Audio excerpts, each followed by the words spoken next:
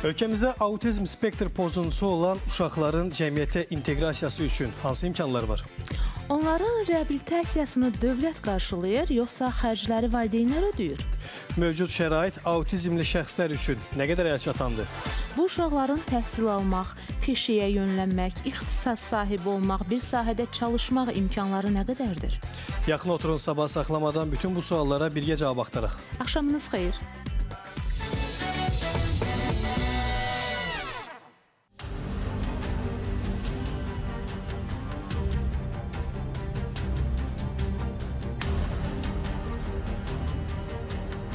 Autizm 21-ci əsrin ən aktual psixoloji problemlərindən biridir. Rəqəmlər deyir ki, hazırda dünyada hər 150 uşaqdan birində autizmin əlamətləri müşahidə olunur. Bu da milyonlarla azyaşlının autizm spektr pozuntusundan əziyyət çəkməsi deməkdir. Təxmini hesablamalara görə ölkəmizdə autizmli uşaqların sayı 6000-ə yaxındır. Əlamətləri əsasən 2 yaşdan özünü göstərməyə başlayır. Belə uşaqlarda dil və ünsiyyət bacarıqları zəif olur. Özünə qapanma, göz təmasından yayınma, ətraf mühitə qarşı maraqsızlıq kimi davranış pozuntuları müşahidə olunur. Bu əlamətlər isə onların cəmiyyətə inteqrasiyasına və ümumi inkişafına maneə yaradır. Belə uşaqları olan ailələrin üzləşdiyi problemlərin həlli, onların cəmiyyətə inteqrasiyası, təlim və təhsilə cəlb edilməsi üçün həm dövlət, həm də qeyri-hökumət təşkilatları səviyyəsində müxtəlif tədbirlər həyata keçirilir. Belə qeyri-hökumət təşkilatlarından biri də Autizm Defektoloji və Psixoloji Yardım Mərkəzi İctimai Birliyidir. Bizim ə, təşkilat tərəfindən hal-hazırda biz layihə icra edirik. Metodik vəsaitlərin yayımıdır. Biz ailələrə gedirik, ailələrdə oluruq və çox ə, acınacaqlı durumlarla rastlaşırıq. Yəni ailənin ə, ümumi gəliri 400-500 manatdır məsələn. O 400-500 manata Azərbaycanda elə bir reabilitasiya mərkəzi yoxdur ki, o ə, getsin o sosial reabilitasiyalardan yararlansın. Belə vəziyyət yaranarkən ailə uşağı evə qapadır və uşaq şiddətə məruz qalır və çox şiddətə məruz qalan uşaqların video görüntüləri də var, bizdə faktlar da var, valideynlərin dinlətiləri də var. İki övladının autizm spektr pozuntulu olduğunu bildirən Çiçək xanım deyir ki, hazırda ölkədəki autizmli şəxslərin statistikasının aparılmasına ehtiyac var. Həmin uşaqlar nə əlillik ala bilirlər, əlillik almada böyük problemlər yaşanırlar, çox böyük çətinliklə, nə də təhsil ala bilirlər. İndi baxın, biz e, bu autizm problemi ilə e, bağlı qanunvericilikdə dəyişiklik elədik. Onun sənədində autizm yazılarsa, normal məktəblərə qəbul yoxdur. Bir-iki dənə pilot məktəblər var ki, orada çox çətinliklə onlar e, düşür. Bütün xarici ölkələrdə olduğu kimi bu uşaqlar xarici ölkədə, Türkiyədə məsələn, qaynaşım okulu deyirlər. O qaynaşım okulundan onlar yararlanmalıdır o təhsildən. O təhsili bunlar əl, əl çatan deyil bizim ölkəmizdə o. Qeyd edək ki, 2013-cü ildən ölkəmizdə autizm spektr pozuntulu uşaqlar üçün bərpa mərkəzi fəaliyyət göstərir. Ötən ilin sonunda isə paytaxtın Nizami rayonunda Heydər Əliyev fondunun inşa etdirdiyi autizm mərkəzi istifadəyə verilib. Məqsəd autizmli uşaqların intensiv terapiya alması və onların asudə vaxtlarının səmərəli təşkili üçün lazımi şəraiti yaratmaqdır. Mərkəz autizm spektr pozuntuları ilə üzləşmiş şəxslərə zəruri ünsiyyət və həyat bacarıqlarını öyrətmək, onları müstəqil həyata hazırlamaq üçün ailələrlə işləmək, autizm sahəsində maarifləndirməni həyata keçirmək məqsədi ilə davamlı işlər aparır. Lakin təəssüf ki, bu imkanlardan ehtiyacı olanların heç də hamısı istifadə edə bilmir. Bəs autizmli uşaqlara və onların valideynlərinə dəstək olaraq qayğılarının öyrənilməsi, lazım olan yardımın göstərilməsi, cəmiyyətin diqqətinin bu məsələyə yönəldilməsi üçün daha hansı işlər görülməlidir? Bu gün sabah saxlamadan autizmlə əziyyət çəkən şəxslərin üzləşdiyi problemlərdən və bunun həlli yollarından danışacağıq.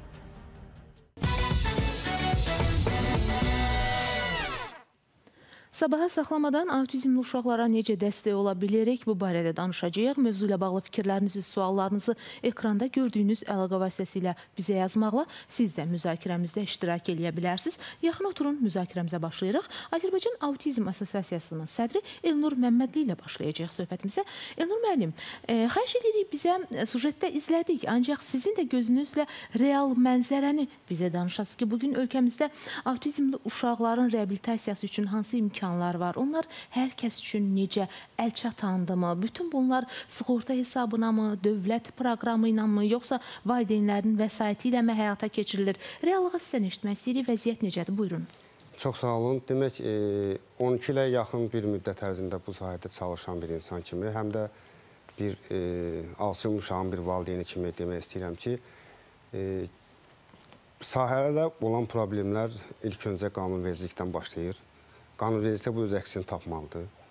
Ondan sonra yəni bu dövlət proqramına salınmalıdır. Dövlət proqramından sonra statistika məsələsi bayaq xanım efirdə e, sujet gedəndə qeyd elədi. Bəli, rəqəmlər. Ondan sonra digər e, problemlər var ki, onlar həyata keçirilməlidir. Yəni baxın, bu gün Azərbaycanda dövlət müəssisəsi ümumiyyətlə autismlə bağlı təzə bu yaxında bir e, Mehriban xanım bir mərkəz açdı. E, dövlət müəssisəsi odur. Amma baxın, digər mərkəzlər orada bu uşaqlara kifayət qədər təlimlər verilirmi, verilmirmi? Ya da belə götürək, bu e, məsələ ilə bağlı birbaşa hər şeyi dövlətin üzərində gedib dövlətdən tələb eləmək də biraz e, anlaşılmayan bir məsələdir. Yəni dünyanın heç bir yerində biz gəzmişik, görmüşük, pulsuz ödənişli müəssisə yoxdur. Nə dövlət müəssisəsi, nə özəl müəssisəsi. Bu heç bir yerdə yoxdur. Amma e, e, bunun üçün dövlət proqramı qəbul olunsa, məsələn, yaxın Türkiyədə e, həftəlik 48 saat təlimin 24 saatını dövlət qarşılayır, 24 saatın ailə. E, bir də yəni Azərbaycanda ümumiyyətlə dövlət proqramı qəbul olunmaq üçün 4 əsas qurum var bu sahəyə cavabdeh olan. Onların ən birincisi də Əmək və Əhalinin Sosial Müdafiə Nazirliyidir. Yəni biz e, sosial sahə olaraq Əmək və Əhalinin Sosial Müdafiə Nazirliyindən biz belə deyək də faydalanmalıyıq. Amma Əmək və Əhalinin Sosial Müdafiə Nazirliyi e, bəzi ictimai birliklərə, bəzi mərkəzlərə dəstək göstərir. Amma kiçik dəstəklərlə ardı olmayan bir dəstəklərlə bu işi heç bir yerə çıxarmaq olmaz. Nə cür faydalanmaq istəyərdiniz? Yəni fikrinizi bir qədər də genişləndirək. E, ən e, faydalanmaq e, odur ki, mən əvvəl qeyd etdiyim kimi dövlət proqramı qəbul olunmalıdır. Dövlət proqramı əsasında 4 qurumun 4-ü də bu işə cəlb olunmalı. Dünyanın hər yerində belədir. Yəni, Hansı qurumlardır onlar?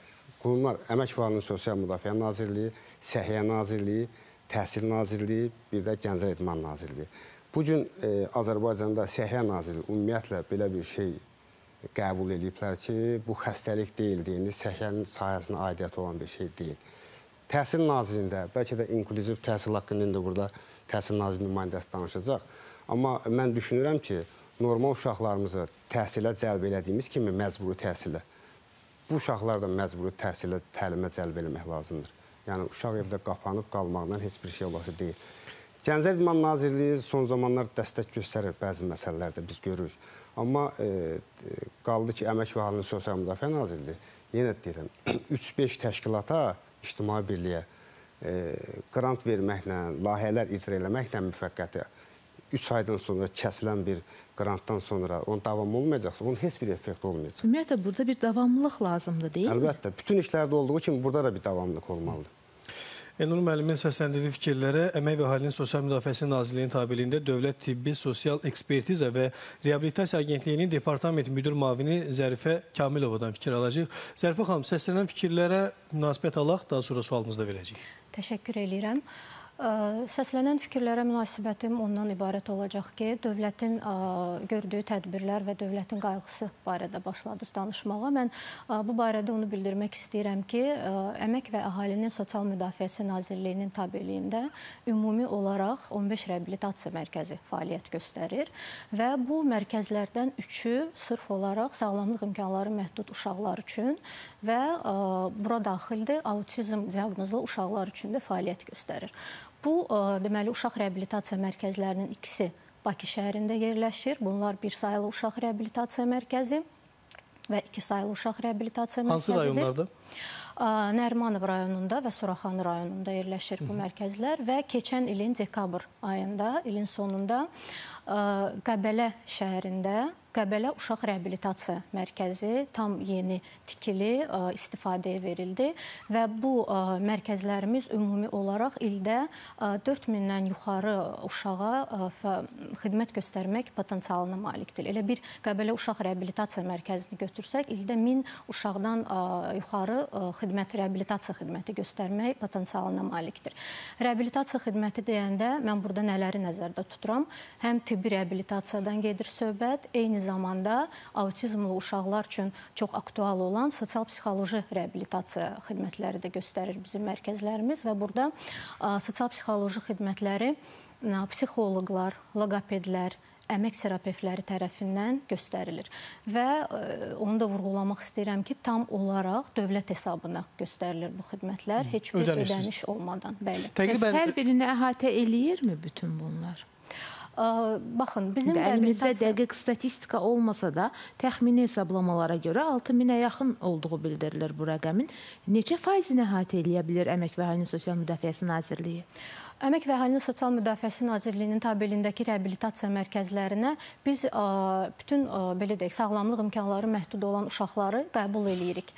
Burada mən bir vacib məqamı da vurğulamaq istəyirəm. Məlumatlandırıcı kimi mərkəzlərimizdəki xidmətlərdən faydalanmaq üçün bəzən bizə suallar verilir ki, necə biz müraciət eləyə bilərik o mərkəzlərə, necə biz o xidmətlərdən yararlana bilərik.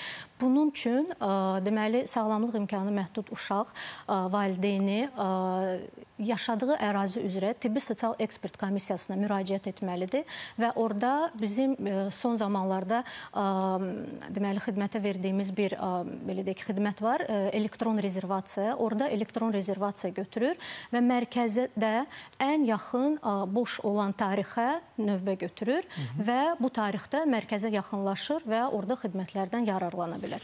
Elnur müəllim, Əmək və Əhalinin Sosial Müdafiəsi Nazirliyinin əməkdaşı bildirir ki, mərkəzlər var. Mən deyim, e, xanım söylədi 6000-ə qədər. Onda e, Bakı şəhərində və bölgələrdə fəaliyyət göstərən özəl mərkəzlər var. Onlar nə iş görürlər? Əgər 6000 ilə e, o 4 mərkəz 6000-də 4000 söylə. 6000 də təkcə paytaxtda deyil, ölkə üzrə təxmini rəqəmdir bu.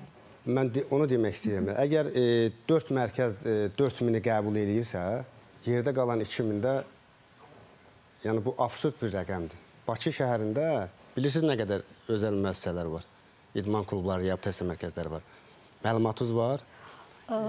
Bizdə olan statistika əsasən ölkədə bilirsiniz ki, autizm diaqnozu 50-lik meyarıdır Bəli. və ölkədə 2500 ə, 2500-dən artıq uşağın autizm üzrə 50-lik diaqnozu var. Yəni sağlamlıq imkanları məhdud uşaqdır. Bəs e, almayanlar necə? 50 almayanlar? 50-lik almayanlarda ə, bilirsiniz ki, 50-lik üçün də prosedur var.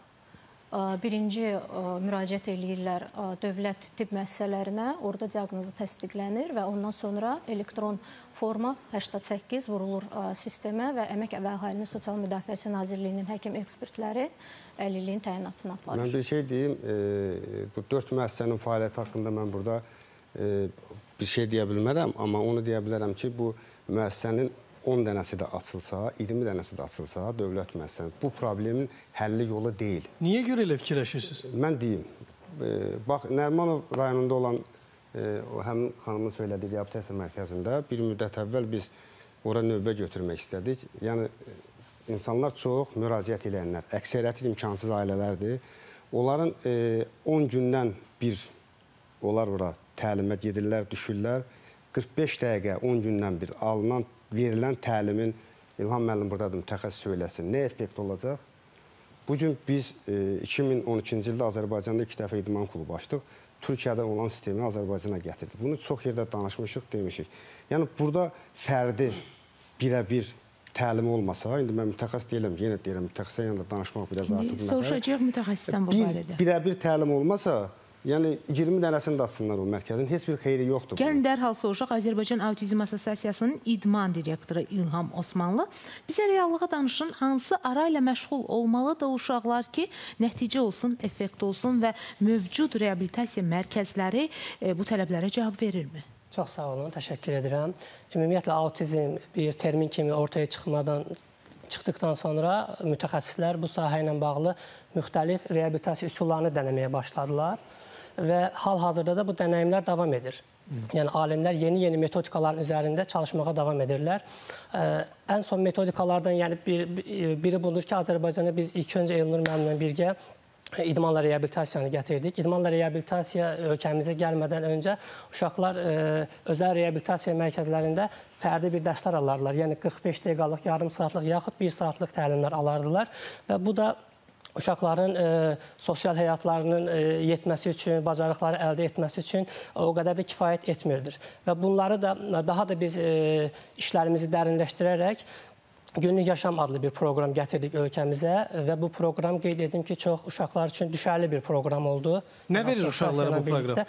Yəni bu proqram ə, uşaq səhər saat 9-dan axşam 6-ya qədər reabilitasiya mərkəzində e, psixoloji, sosial, idman, bəli, bəli, bəli, e, idman, e, öz e, hipoterapiya, üzgüçülük və s. adını çəkmədiyim digər təlimləri keçmək keçmək üzrədir və bu təlimlərin nəticəsini biz 2 ildən sonra daha gözəl görməyə başladıq. Çünki 2 il öncədən biz 5 yaşında uşaqlara öyrətdiyimiz hər hansı bir 1 il ərzində öyrətdiyimiz hər hansı bir bacarığı e, bu proqramlarla 6 aya yetməyə başladıq. İlham müəllim, gəlin sualımızı bir daha e, konkretləşdirək. Elnur müəllim deyir ki, 10 gündən bir keçirilən həmin o təlimlərin effekti e, bizim istədiyimiz şəkildə olmayacaq. Təbii ki, istədiyimiz şəkildə olmayacaq. Neçə gündən bir Çünki olmalıdır? mütəxəssislər hər biri Nərmin xanım da burada da qeyd edir ki, e, 42-45 saatlıq mütləq təlim mütləqdir və e, qeyd edilən layihələr də davamlı olmur. Layihələr yəni 9 aylıq, 1 illik olur, layihə sonra kəsilir.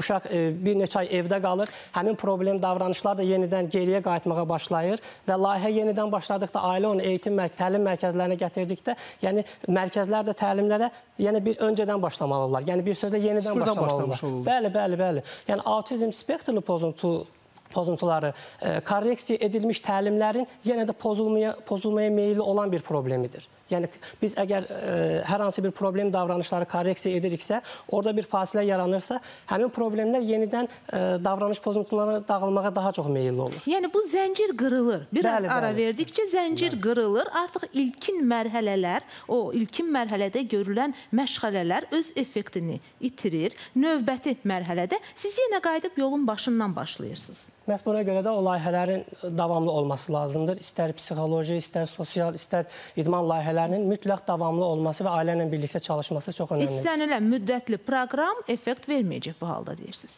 Zərfə xanım, layihələrin davamlı olmamasına nə mane olur? Layihələrin davamlı olması ilə bağlı razıyam tamamilə. Bununla bağlı bizim mərkəzlərdə hansı tədbirlər həyata keçirir, onun o barədə danışmaq istəyirəm. Bizim mərkəzlərdə ə, xidmətlər həm ə, stasionar şəkildə, həm də ambulator şəkildə verilir. Bunlar nə deməkdir? Stasionar şəkildə pasienti biz qəbul edirik mərkəzimizə və 2 həftə, bəzən 3 həftə ərzində pasient davamlı olaraq mərkəzdə qalır və hər gün ə, səhərdən belə deyək, ə, axşam saatlarına kimi reabilitasiya xidmətlərinə cəlb olunur. Burada həm tibbi reabilitasiya, fizioterapiya xidmətləri, eyni zamanda ə, müalicəvi bədən tərbiyəsi, ə, təlimatçıları ilə bir yerdə müalicəvi bədən tərbiyəsi hərəkətləri icra eləyir. Daha sonra psixoloqlarla ə, sessiyalar, loqopedlə, əmək terapevti ilə sessiyalar həyata keçirir və eyni zamanda biz bu uşaqlar üçün kütləvi tədbirlər də təşkil Bu edirik. 2 həftəlik müddətdə. 2 həftəlik müddətdə hər gün bu tədbirlər davam eləyir. 2 həftəlik müddət bitəndən sonra daha sonra biz keçirik ambulator xidmətə. Yəni bundan sonra uşaqlar ə, valideynləri ilə 2 həftə müddətində də ambulator olaraq mərkəzə gəlib gedir və eyni xidmətləri almağa davam eləyir. Və burada artıq biz davamlı bir reabilitasiya xidmətinin şahidi oluruq. Artıq 28 gün davam eləyir bu xidmət. Əlavə olaraq biz nə edirik? Onlayn reabilitasiya xidmətləri təşkil edirik. Məsəl üçün stasionar və ambulator xidmətlər bitdi. Bundan sonra onlayn olaraq müalicəvi bədən tərbiyəsi sessiyaları, psixoloji və loqopedik sessiyalar təşkil edirik və bunlara da mütəmadi olaraq uşaqlar cəlb olunur. Və beləliklə biz bu reabilitasiya xidmətlərinin davamlılığını təmin etməyə bacarırıq. Bir sual istəyirəm. Buyurun. Onlayn reabilitasiya deyəndə bir biz anladım bilək. Onlayn reabilitasiya nədir? Bax, autizm uşağa siz ümumiyyətlə təmasda olmusunuz autizm uşaqla. Bəli, olmuş. Onlayn İlham müəllim, reabilitasiyanın autizm uşağa necə təlim vermək olar? Biz e, ümumiyyətlə bilirsiniz bu yanaşma, mən çox üzr istəyirəm, yəni biz bu işi yaşayırıq, görürük. Bu e, əzbərlənmiş bir sözləri efirdə danışıb, sizə aidiyyəti yoxdur, ümumiyyətlə deyirəm. Mətbuata çıxardı, bu problemləri, bu problemləri həll edirik. Bu məsələ ilə problem həll olunmur. Biz ona görə deyirik ki, bu uşaqların təlimi üçün xüsusi proqram hazırlanmalıdır. Bütün mərkəzlər eyni formada, eyni təhsil sistemi ilə bu uşaqlara təlim verməlidir. İlham müəllimin təlim forması bir başqa cürdür. O xanımın işlədiyi e, özəl müəssisədə, mərkəzdə başqa formadadır.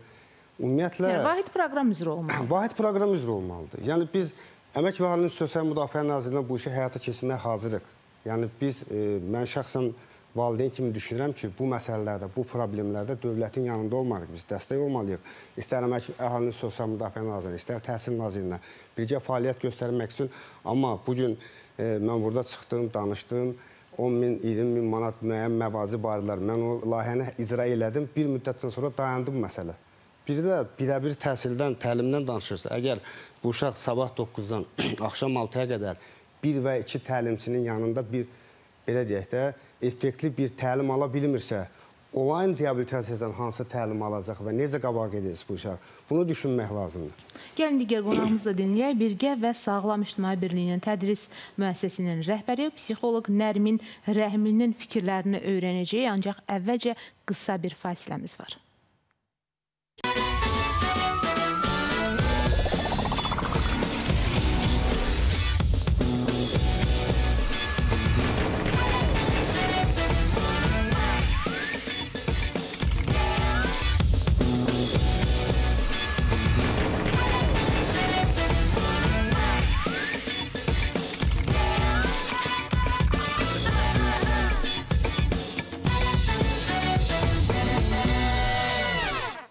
Sabaha saxlamadan autizmli uşaqlara dəstək ola bilirikmi? Bu suala cavab axtarırıq. Mövzu ilə bağlı fikirlərinizi, suallarınızı gözləyirik. Bunun üçün ekranda gördüyünüz əlaqə vasitələrinə yaza bilərsiniz. Studiyamızda müzakirəmizi davam etdiririk.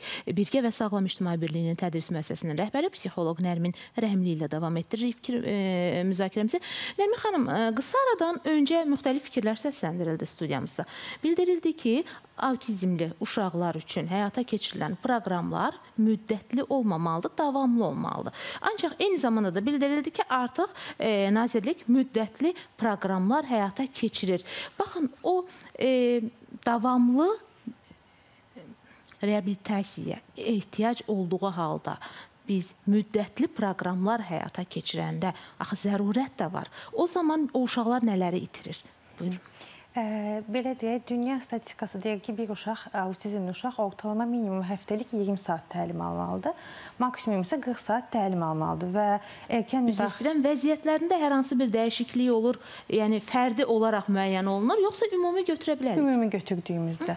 Ə, niyə? Çünki hər bəli, hər autizmli uşaq özünə görə ə, məxsusilik daşıyır, fərdilik daşıyır və hər birinin xüsusiyyəti fərqli olduğu üçün ortalama hər birinə minimum 20, ə, maksimum isə 40 saat təlim lazımdır ki, tutaq ki, 0-2 yaşdakı bir uşağın 40 saatlıq təlim aldığında, erkən müdaxilə olunduğunda risk qrupasından çıxma ehtimalı var. Amma 6, 12, 18 yaşlı bir autizm spektr pozuntusuna sahib olan uşaq həftəlik 40 saat təlim aldığında həyatına tamam autizmdən çıxmır, həyat boyu autizmlə davam eləyir. Sadəcə ə, gündəlik yaşam bacarıqlarına sahib ola bilir, inklüziv təhsil sisteminə ə, yönələ bilir, ə, inklüziv halda iş peşə bacarıqlarına sahib ola bilir və s. Ə, düşündüyüm Yəni buradan belə çıxır ki, bəli, autizm spektr pozuntusuna sahib olan uşaqların təlimi müddətli olmalıdır. Autizm doğuşdan gəlir, neyroinkişaf pozuntusudur və həyat boyu davam edir. Amma bayaq qeyd elədik, risk qrupasında olan uşaqlar, yəni 0-2 yaşda Təbii ki, psixiatrımız o haqda daha ətraflı məlumat verər. 0-2 yaşda erkən müdaxilə olunanda isə risk qrupasına çıxa bilir bu uşaqlar. Bəs və mövcud vəziyyət budur ki, bəli, valideynlər ödənişli şəkildə reabilitasiya mərkəzlərinə gedib bu təlimi alır, amma ala bilməyənlər isə müddətli paketlər belə deyə, layihələrlə nələr etmək olar? Təbii ki, orada da bir fayda verə bilərik uşaqlara. Necə? Baxın, autizmli uşaqlar sadəcə reabilitasiya mərkəzində təlim almamalıdırlar. Onlar yuxudan durandan gecə yatana kimi təlim almalıdırlar. Yəni burada əslində valideynlərin öhdəliyinə də çox şey düşür. Öz mərkəzimizdən nümunə verəcəm ki, biz mərkəzdə elmə əsaslı bir sistem tətbiq edirik. Təbii ki, baxın, idmandır, yaşam bacarıqlarıdır. Bunlar bir autizm spektr pozuntusuna sahib olan uşağın öyrənməsi lazım olan belə deyək, bacarıqlardır, terapiyalardır. Amma elmi əsaslı sistemlə bir uşaq təlim aldığında ə, həyata daha yaxşı tutuna bilir. Üstə gəl də valideynlərə biz bu bacarığı öyrətdiyimizdə tamam, valideyn gələcək 3 ay, 5 ay, bəlkə 1 il, bəlkə 2 il. Daha sonra maddi vəziyyəti onu qarşılaya bilmədiyində valideyn nə etməlidir? Valideyn də bu uşağa çətin deyil əslində ə, elmi əsaslı bir sistemi mənimsəmək. Yəni psixoloqlar əslində möcüzə yaratmırlar. Sadəcə elm sahibi olurlar və həmin sistemi sistem nədir? Dünyada və Azərbaycanda istifadə olunan tətbiqi davranış analizi sistemidir. Həmin sistemi mənimsəyirlər və uşaqlarına əgər ki, mərkəzlərdə bu sistem valideynlərə də öyrədilsə, valideynlər öyrənib sabah bir gün tutaq ki, maddi vəziyyəti qarşılaya bilmədi. Həmin mərkəzdən Gəlin çıxdı. dərhal öyrənək, görək ki, valideynlərə yönəlik hər hansı xüsusi proqram varmı? Yəni. Bizim mərkəzlərdə ə, sağlamlıq imkanları məhdud uşaqlar valideynləri ilə bir yerdə qalırlar və bütün bu sessiyalarda valideynlər də iştirak eləyir. Əlavə olaraq biz ə, mütəmadi olaraq ə, bu uşaqların yaxınlarına və valideynlərinə məlumatlandırıcı sessiyalar da təşkil edirik və bu sessiyalarda da bu uşaqlara yanaşma, bunlarla belə deyək davranma xüsusiyyətləri haqqında əlavə olaraq danışırıq və bu tədbirlər haqqında biz mütəmadi olaraq məlumat da veririk. Sosial şəbəkələr üzərindən elanlar da gedir. Yəni bu sessiyalara biz ə, cəl çalışırıq mümkün qədər çox valideyn cəlb eləyək ki, daha çox məlumatlandırıcı olsun hamı. Neçə müddət e, aralarla keçirilir həmin o sessiyalar? Ə, Mərkəzdə olduğu müddətdə demək olar ki, hər gün valideynlər ə, baxın uşaq psixoloji sessiyadadırsa, yanında anası da mütləq olur və psixoloq ə, uşaqla paralel anaya da bu vərdişləri aşılayır və yaxud bədən tərbiyəsi sessiyasında ə, təlimatçı valideynlə bir yerdə işləyir ki, evdə də valideyn daha sonra bu vərdişləri davam elətdirə bilsin. Ə, Sosial şəbəkələr üzərindən isə məlumatlandırıcı sessiyalarımız ə, mütəmadi olaraq hər 2 həftədən bir onlayn olaraq da keçirilir. Nərmin xanım bu yetərlidirmi yoxsa onlarla ayrıca görüşülməli, ayrıca proqramla işlənilməlidir? Ə, əslində ayrıca proqramla işlənilməlidir, bəli. Ortalama ən az bir 6 ay, yəni bu 1 həftə, 2 həftə, 28 günlük bir məsələ deyil əslində. Minimum 6 ay bir uşaqla birə-bir tə təlim keçirilməli və həmin valideyni də o təlimə cəlb etmək lazımdır. müəyyənləşdirək. Uşaq dünyaya gəlir, bir müddətdən sonra, bir ildən, il yarımdan sonra Bəli. məlum olur ki, uşaqda avtizm sindromu pozuntusu var Bəli. və bundan sonra dərhal valideyn həmin təlimlərə cəlb edilməlidir ki, övladının bundan çünki əksər hallarda ə, bu aşkarlandıqda valideynlərdən biri mütləq karyerasını kənara qoyur, işindən ayrılır və demək olar ki, mütəmadi olaraq o uşaqla məşğul olur. Çünki sizin də dediyiniz kimi 24 saat o uşaq nəzarətdə olmalıdır. Dərhal cəlb edilməlidir həmin təlimlərə analar. Bəli. Bəs mövcud şəraitdə necə olur? Nə verə bilirik o uşağa? Belə deyim, normalda dünyada bir çox valideyn yetişdirmə belə deyək də, valideyn təhsilini artırma proqramları var ki, Bird bu proqramlardan bir nümunədir. Əslində o proqramlar dövlət nəzdində Azərbaycana gətirilsə və bir çox valideynlər həmin proqramlara cəlb olunsalar, siz demiş daha adı üstündə early bird, daha erkən yaşda valideynlər heç reabilitasiya mərkəzlərinə aparmadan uşaqları ilə necə münasibət qura biləcəklərini ya da hansı əlamətlər onlarda olduğunda direkt həkim psixiatrlara yönləndirə biləcəklərini biləcəklər və daha ə, intensiv şəkildə uşaqları ilə məşğul ola bilmə bacarıqlarına sahib olacaqlar ki, bunun nümunəsi əslində dünya ölkələrində çox var. Bunu etməyə bizə nə mane olur? Biz mütəmadi olaraq beynəlxalq təcrübədən də istifadə edirik. Bu yaxınlarda uşaq reabilitasiya mərkəzlərində uşaqların funksional vəziyyətini, daha sonra koqnitiv funksiyaların qiymətləndirilməsi üçün elmi sübutlara əsaslanmış beynəlxalq qiymətləndirmə şkalalarının istifadəsinə başlamışıq. Daha sonra beynəlxalq təcrübənin öyrənilməsi istiqamətində ə, Amerikalı bir ə, autizm üzrə mütəxəssis Bill Peters ə, nazirliyin ə, təşəbbüsü ilə ölkəyə çağırılmış və bir saylı ə, agentliyin tabeliyindəki bir saylı uşaq reabilitasiya mərkəzində ə, uşaqlar üçün sosial-psixoloji sessiyalar təşkil etmişdir və ə, deməli mərkəzlərimizin mütəxəssisləri üçün də məlumatlandırıcı bir təlimlər keçirmişdir. Burada xüsusi xüsusiyyət nədən ibarətdir? Bill Peters ə, özü də ə, autizm ə, xəstəsidir və doğulandan ona autizm diaqnozu qoyulmuşdur və daha sonra belə deyək, sosial bacarıqların adaptasiyası tədbirləri nəticəsində o artıq bu sahədə tanınmış bir eksperta çevrilmişdir və o bu problemi məhz belə deyək, mütəxəssis tərəfdən, psixoloq tərəfdən yox, autizm bir pasiyent tərəfdən işıqlandırır və bu da çox əlbəttə ki, lazımlı bir məlumatdır bizim üçün. Baxın, bu öyrənilən, üzr istəyirəm Ürfan, sualı dəqiqləşdirmək istəyirəm. Öyrənilən, araşdırdığınız dünya təcrübəsindən gəldiyiniz qənaətdə belə bir zərurət varmı ki, e, problemin aşkarlandığı andan etibarən valideynlər təlimlərə cəlb olunmalı və biraz öncə səsləndirildiyi o proqramdan keçməlidirlər? Mütləq razıyam sizinlə. xanımın fikri ilə razıyam ki, autizmli uşaqlarına ə, mütəxəssislərlə, reabilitasiya mərkəzləri ilə yanaşı valideynlər də mütləq işə cəlb olunmalıdır. Çünki əsas yük yenə də valideynlərin üzərinə Yəni düşür. nazirlik bu barədə düşünürmü? Bəli, mütləq. Ona görə də bu istiqamətdə işlər aparılır. Zərfə xanım, dediyiniz həmin o təlimlərdə yalnız nazirliyin tabeliyində olan mərkəzlər, reabilitasiya mərkəzlərində təlim keçildi, yoxsa digər mərkəzlərdən də mütəxəssislər dəvət olunmuşdu? Mütəxəssis ə, Əmək və Əhalinin Nazirliyinin ə, təşəbbüsü ilə ölkəyə gətirilmişdir və ə, Nazirliyin tabeliyindəki reabilitasiya mərkəzlərinin mütəxəssisləri iştirak etmişdir bu təlimlərdə. Mövzunu isə hazırda biz Səhiyyə Nazirliyi nəzdində Psixi Sağlamlıq Mərkəzinin mütəxəssisi həkim psixoloq Leyla Əliyeva ilə davam etdirəcəyik. Leyla xanım, xoş gəlmisiniz. E, autizm uşaqların müayinəsi, müalicəsi və reabilitasiyası zaman eyni zamanda böyük maliyyə e, tələb edən bir prosedurdur. Məhz dövlət tərəfindən, Səhiyyə Nazirliyi tərəfindən məsələn, bütün bu prosesin hansı mərhələsi qarşılanır? Ə, Çox sağ olun. Keçim dərhal sizin cav sualınızın cavabına. Ə, Bizdə 2016-cı ildən Mehriban xanımın təşəbbüsü ilə ə, ilkin ə, psixi sağlamlıq bölgəsi Lənkəranda açılmışdır. Bu nə deməkdir? Uşaq poliklinikasının nəzdində. Ə, Deməli özünüz bilirsiniz ki, reabilitasiya uzun bir prosesdir. Yəni reabilitasiyada cəlb olunan uşaqlar evinə ya- yaxın, yaşadığı ərazidə yaxın olmalıdırlar. Ə, Bizim dövlət tərəfindən ə, ondan sonra deməli Səhiyyə Nazirliyinin sərəncamı sərəncamına əsasən ə, digər rayonlarda, digər ə, şəhərlərimizdə belə bir bölgələr açılıb. Zaqatalada, Şirvanda, Gəncədə, Qubada, ə, Şəkidə, Kürdəmirdə ə, və s. ə, bölgələrdə Bakıda var. da varmı?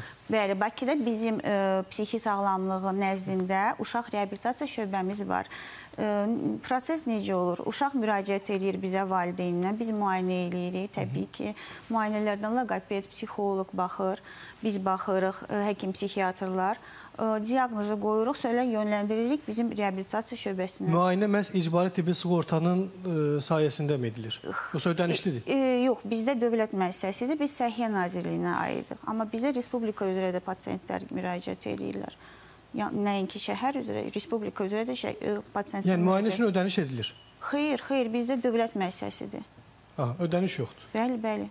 Nə qədər uşağı əhatə eləyə bilirsiniz? İstər paytaxtda, istər bölgələrdə. Gün ərzində çətindir demək, o suala cavab vermək çətindir. Yəni mən sizə indi onu deyə bilmərəm. Yəni ancaq müayinə ilə kifayətlənirmi bizdə, yoxsa davamlı olaraq prosesə qoşulursunuzmu?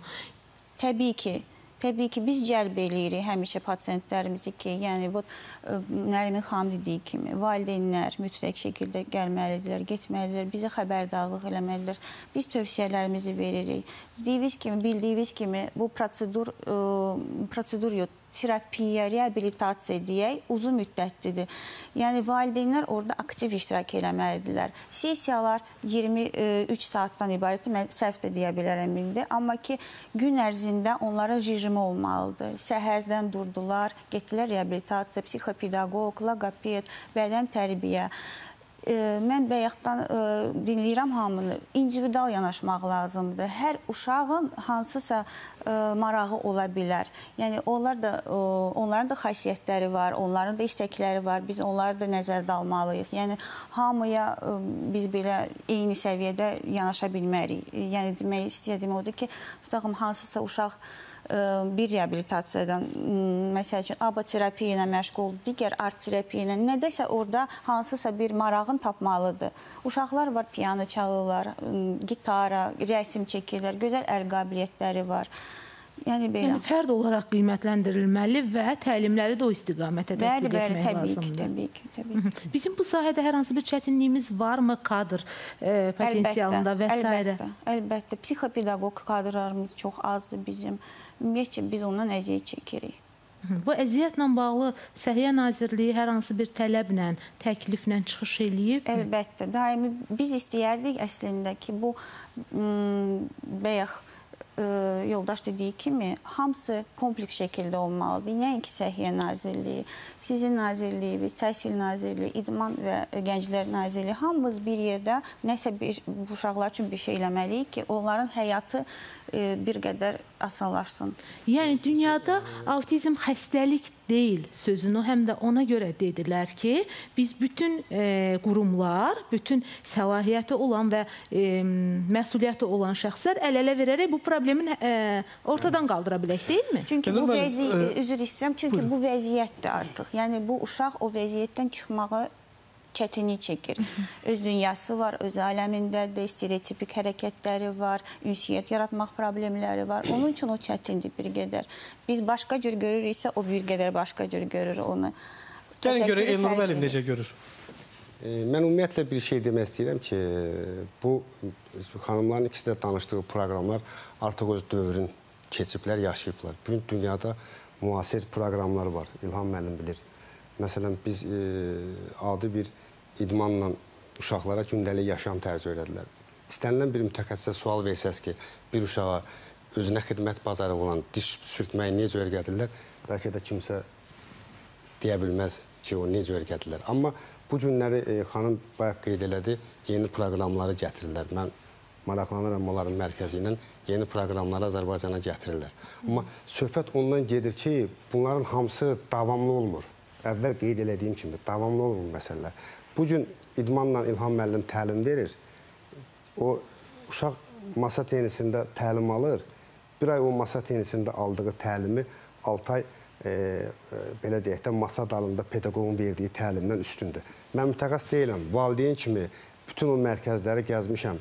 Bir nömrəli reabilitasiya mərkəzində olmuşam o vaxt. Amma baxın görək e, onların içindən bir valideyni danışdırın, görün. Onlar tutaq ki deyirəm, hər hansı özəl bir müəssisədə aldığı təlimi o mərkəzdə ala bilirmi? Yəni vaxt sarıdan, vaxt məsələsidir. Buyurun. Ə, qeyd etdi, Elnurun qeyd etdiyi hansı ki, bəzi tə tədris metodları var ki, dediniz ki, öz effektivliyini itirir. Həkim psixiatrın dediyi AB terapiya, yəni tətbiqi davranış analizi hal-hazırda dünyada və ölkədə tətbiq olunan, üzr istəyirəm, elmi əsaslığı sübut olmuş yeganə Mən sistemdir. abanı demədim. Ümumiyyətlə deyirəm. Yəni bu gün gedir psixoloqun yanına, logopedin yanına, o dəyərləndirmə olur. Məsələn, e, İlham müəllimin mərkəzində uşağı bir həftəyə dəyərləndirirlər. Bizim digər təlim mərkəzlərində, lap dövlət müəssisəsi gedirik 15 dəqiqəyə. İndi baxın görün 15 dəqiqəyə olunan e, dəyərləndirmə doğru düzgün cavab nəticə verə bilər, yoxsa bir həftəlik? Bir şey əlavə edəcəm. Bu dəyərləndirmə təbii ki, həkim psixiatrın dəyərləndirməsi fərqlidir. Bir psixoloqun dəyərləndirməsi fərqlidir. Çünki hə- həkim psixiatr dəyərləndirib diaqnostika qoyur, amma bir psixoloq dəyərləndirib, qiymətləndirib uşağın inkişaf nəticəsini deyir ki, bəli, bu uşağın xronoloji yaşı atıram 69 aydır, amma inkişaf yaşı isə 48 aydır. Bu e, dəyərləndirmə təbii ki, həkim 15 dəqiqəyə təbii ki, təcrübəsi və ə, ə, elmi belə deyək, buna icazə verirsə 15 dəqiqədə bir uşağın diaqnozunu qoya bilər. Əgər kifayət qədər təcrübəsi varsa, amma bir e, idman mütəxəssisinin ya da bir psixoloqun, psixopedaqoqun qiymətləndirməsi təbii ki, bizim şəxsən mən psixoloq olaraq qeyd edirəm ki, bizim dəyərləndirmə hüququmuz sadəcə tədris mövzusundadır ki, tətbiq davranış analizinə bir daha qayıt, qayıtmaq istəyirəm. Bayaqlar vurğuladınız ki, bütün ölkə əslində vahid bir sistem tətbiq eləsə daha gözəl olar. Bəli. Mərkəzlərdən asılı olmayaraq, e, nazirliklərdən, yəni nazirliklərin verdiyi dəstək bir vahid sistemə e, verilməlidir ki, burada valideynlər arasında çaşqınlıq olmasın. Mərkəzlər arasında da hər kəs bil- bilsin ki, bəli, mənim istifadə etdiyim sistem elmi əsaslı bir sistemdir. Çünki təəssüflər olsun ki, ölkədə bu iş e, çox istismar olunur. Hər kəs çox məzun var belə deyək psixoloq sahəsində, psixologiya, pedaqoq sahəsində Olmayanlar da və hər kəs bu işi görür və istismar olunur təəssüflər olsun ki, amma elmi əsaslı bir sistemlə bu tətbiqi davranış analizidir təbii ki. Araşdırma göstərir ki, dünyada və Azərbaycanda istifadə olunan yeganə hal-hazırda təsirli sübut olmuş bir sistemdir. Bu sistemlə hər bir psixoloq əlavə olaraq təhsilini həmin sistemdə artıra bilər və autizmli uşağın istər idman sahəsində, baxın, sadəcə idman deyil, idman sahəsində də tətbiq davranış analizinə bir uşağı öyrədə bilərsiniz. Özdən qulluq bacarığını da bir uşağa tətbiq davranış analizinə öyrədə bilərsiniz. 0-2 yaşdaykən müdaxilə ni də bir uşağa tətbiq davranış analizi ilə öyrədib həmin sistem, həmin vəziyyətdən belə də risk qrupasından çıxarda bilərsiniz. Mən bir şey də Əlavəniz var idi. Buyurun. bir şey də e, söyləmək istəyirəm ki, əgər e, xanımların dediyi şey həqiqətən də doğru düzgündürsə, e, bu Bakı şəhərində o qədər özəl müəssisələr açılıb ki, yəni bu sahənin boşluğundan istifadə edib özəl müəssisələr açılıb ki, bu günləri valideyn düşünür ki, imkanı olan olmayan evladını çıxardıb hansısa bir idman klubuna ya reabilitasiya mərkəzinə qoysun. Adi bir misal çəkmək istəyirəm. Orta təhsilli bir adam mərkəz açıb, e, mən ona sual verirəm ki, bəs o refleksoloji masaj var, o da elə bir masaj ki, həkim bilər. Yəni onu e, hər adam eləyə bilməzlər. Türkiyədə 7 il təhsil alır, e, ondan sonra müəyyən e, kifayət qədər stajdan sonra bu işlə məşğul olur. Masaj eləyir. Bəs sən bu təhsilin bunun hardan aldın, təlimin? Mən bir həftə Türkiyədə seminar keçib gəlmişəm. Bunu, e, yəni buna aid olan misallara çox çəkmək olar. Sadəcə onu demək istəyirəm ki, bu sahədə olan boşluqlardan işbazlar istifadə edir. Əgər e, iki müəssisənin işi, fəaliyyəti doğrudur. İkisi də ali veri, qanunverici orqandır. Bunlar bu işə nəzarət eləməlidirlər. Gəlin dərhal öyrənək. Leyla xanım, yanlış mütəxəssisə rast gələrsə autizmli uşaq, həmin o proqramlar doğru tərtib olunmazsa, biraz özün, biraz öncə özünüz də dediniz ki, fərdi yanaşma olmalıdır. O zaman biz onun uşaqda hansı fəsadlarını görə bilərik? Çətinlik çəkirik. Yəni düzgün yönəltmə olmayanda biz çətinlik çəkirik. Bax, Nərmin xanım dediyi kimi, erkən müdaxilə deyilən bir şey var. Sıfırdan, risk qrupunda yaşında olan uşaqlar var. Onlar artıq ilk dəfə düzgün e, psixopedaqoqun yanına gedəndə, mütəxəssisin yanına gedəndə risk qrupundan çıxmağa daha çox e, şansları olur. Çünki ilk dəfədir gedirlər, düzgün yönəldirlər də onları ona görə. Lakin artıq ki, orada səhvlər var, düzgün işləməmələr... Ya, yanlış qapıdadır. Bəli, bəli, yanlış qapı. O bir qədər bizim işimizi çətinləşdirir. Biz qaydırıq sıfıra. Nərmin xanım dediyi kimi, ə, valideynlər, bir neçə valideynlər var tanıdığım şəxsən, hansılar ki, ə, orada psixopedaqoq olmaq üçün super biliyə, savada nail, olmaq lazım deyil. Yalnız o terapiyalar vaxtı, sessiyalar vaxtı orada iştirak eləmək lazımdır, başa düşmək lazımdır və onu evdə də tətbiq eləmək lazımdır. Sessiya vaxtı çox güman ki, siz özünüz yəqin ki, bilirsiniz ki, onlar kaprizdə olurlar. Nə isə qadağa qoyanda evdə də qadağa olur olmalıdır. Bir də mən bayaq ki sözünüzə qayıtmaq istəyirəm. O deyirsiniz ki, bizim diaqnostika, diaqnostika terapiyalarımız çox köynəlib. Bizim mütəxəssislər daima treninqlər keçirlər.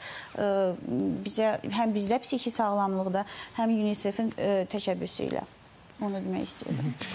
Mövzunu isə davam etdiririk. Logos Psixoloji və NIT İnkişaf Mərkəzinin psixoloqu Nigar Məmmədova ilə. Nigar xanım, bir qədər e, əvvəl səslənən fikir oldu ki, məhz 15 dəqiqə ərzində müəyyənləşən diaqnoz və bir həftə ərzində. E, həqiqətən 15 dəqiqə ərzində məhz autizmli uşağın diaqnozunu qoymaq mümkündür? Hı -hı. Öncəliklə e, bu sahədə illərlə çalışan bir mütəxəssis olaraq deyim ki, biz artıq illərlə, 11 ildən çoxdur ki, artıq mən elə deyim ki, uşaqların dəyərləndirilməsi ilə məşğulam. Bildiyimiz kimi autizm spektr pozuntusu diaqnozu sadəcə həkim, psixiatr və nevropatoloq tərəfindən təyin olunmalı bir diaqnozdur və bu gün ailələrin e, çətinlik çəkdiyi məsələ autizm spektr pozuntusu ümumdünya psixodiaqnostik dəyərləndirmə kriteriyalarına əsasən DSM-5-ə əsasən 5 yaşından sonra qanuni olaraq qoyula biləcək diaqnozdur. 5 yaşa qədər autizm spektr pozuntusu uşaqlara təyin olunmur. E, həkimlər həkimlər tərəfindən 3 yaşından sonra e, şübhəli olaraq göstərilərək diaqnostik vərəqəyə yazılır. Şübhəli görünür, əlamətlər olaraq müşahidə olunur. Sonra isə reabilitasiyaya cəlb olunmağı valideynlərə bildirilir. Və eyni zamanda Gəlin bu yerdə sizin bu fikrinizə e, Leyla xanımla fikir alaq. Razılaşırsınızmı Nigar xanım? 5 yaş çünki çox gecikmiş bir Bilirsiniz, mən fikrimi bitirməmişəm artıq. Mən fikrimi bildirim. Diaqnoz olaraq 5 yaşında uşağa qanunən DSM-5-də baxsaz, məlumatlısınız yəqin ki, bu haqda. Ümumdünya psixodiaqnostik dəyərləndirmə meyarıdır DSM-5. Orada 5 yaşından diaqnoz dəqiq qoyulur, amma yenə də deyirəm, kiçik yaşlarından həkim təbii ki, baxdıqda dəyərləndirmə etdikdə uşaqda autizm spektr əlamətlərini gördükdə mütləq şəkildə şübhəli olaraq testlərdən keçildikdə reabilitasiyaya cəlb olunmalıdır. Mən ona qüvvət deyirəm ki, əgər ə, dövlət sadəcə dəqiq diaqnozla əgər autizm spektr pozuntulu uşaqları ə, reabilitasiyaya cəlb edirsə, burada diaqnoz 5 yaşından götürülür. Çünki 5 yaşa qədər uşaq inkişaf mərhələsində olduğu üçün öncələri bu 3 yaşdan götürülürdü. Amma indi müasir ədəbiyyatda Diaqnoz 5 yaşındadır, amma reabilitasiya uşaqdakı olan əlamətlər hətta 1 yaşından da müşahidə oluna bilir. İstər e, kontaktın ola bilməməsi, istər özünü uşağın e, cəmiyyət içində sosiallaşa bilməməsi, nitqinin yaranmaması, ümumiyyətlə cəmiyyətə cəlb oluna bilməməsi. Bu xüsusi testlər vasitəsilə uşaqlarla aparılır. Bu testlərdə uşaq hətta 2, 3, 4 yaşında da bu testlərdə o autizm spektr pozuntunun e, yüngül, orta ağırlıq dərəcəsi əlamət olaraq göstərilə bilər, amma hələ ki diaqnoz olaraq bəlli olmur. Əlamət olaraq göstərilir. Eyni zamanda da e, uşaqları reabilitasiyaya cəlb etmək üçün biz deyirik, ümumi danışa bilərik, amma valideyn 1 e, yaşında, 2 yaşında uşaqda bu narahatçılıqları görə bilər, həkimə gedə bilər, həkim də bu narahatçılıqları görə bilər, amma uşağın reabilitasiyaya cəlb olunması təbii ki, gecikdirilməməlidir və düzgün şəkildə yönlənilmə aparılmalıdır. Məsələn, Uşaq müəyyən testlərdən keçirilir. Hər bir spektr pozuntusu müşahidə edilən uşaq hamısı eyni dərəcədə olmur. Hər biri fərqli fonda ola bilər. Məsələn, kimləri isə ə, elə bir spektr pozuntu müşahidə olunan uşaq var ki, onun nitqi ola bilər. Yəni bu 15 dəqiqə çəkə bilərmi? 15 dəqiqədə xeyr, 15 dəqiqədə diaqnostika mümkün deyil. Nəyə görə? Hər bir uşaq individualdır. Hər bir uşağın psixoloji durumu var. Hər bir uşaq gələrək, məsəl üçün Biz 15 dəqiqədə valideynindən məlumat ala bilərik, bu doğrudur. Həkim də valideynin verdiyi, valideyndən topladığı anamnezə əsasən müəyyən bir diaqnostik bir dəyərləndirmə meyarı tətbiq edə bilər. Amma uşağın izlənilməsi üçün müəyyən bir müddət lazımdır. Uşaq o gün gəldiyi gün yuxulu ola bilər, halsız ola bilər. Hətta bəlkə də onda spektr pozuntu yox, digər əlamətlər ola bilər. Bunu mütəxəssis qarışdıra bilər. Buna geniş əhatəli baxmaq lazımdır. Əlavəniz var idi? Əlavəm odur ki, biz diaqnozu artıq 3 yaşında da qoya bilirik. 2-3 yaşında da qoya bilirik. Ümumi ümumi inkişafın pozuntuları deyilən bir diaqnozu var. Ümumi inkişaf pozuntusu kimi gedir də. İnkişaf autizm zaten neyroinkişaf pozuntusudur, amma qanunən DSM-5-ə əsasən hal-hazırda ümumi dünyada 5 yaşından diaqnoz qoyulur və öncəsində isə 3 yaşından təbii ki, diaqnostik əlamətlər olaraq həkim onsuz da onu həkim təyin edir. Biz təyin etmirik psixoloqlar olaraq. Sizlər niyə görə belə qəribə baxdınız bu məsələyə bilmirəm, amma diaqnozun tamlığı var. Bir də uşağın inkişaf dövründə olarkən onda müşahidə edilən pozuntular var.